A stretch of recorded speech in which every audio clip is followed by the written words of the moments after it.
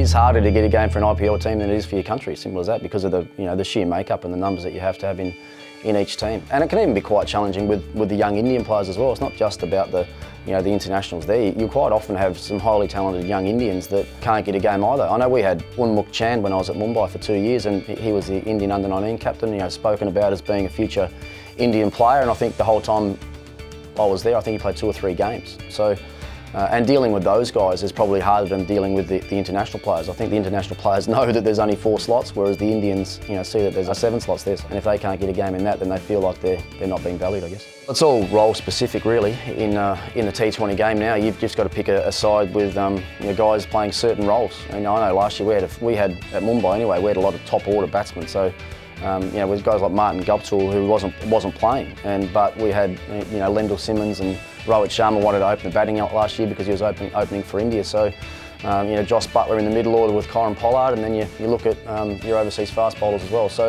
you know that's a good thing to have. If you've got a squad that's got some really good players that can't get a game, I mean that's what the IPL is all about, all about having that depth and, and mixing and matching where conditions suit and also trying to mix and match with your team as far as opposition players are concerned as well.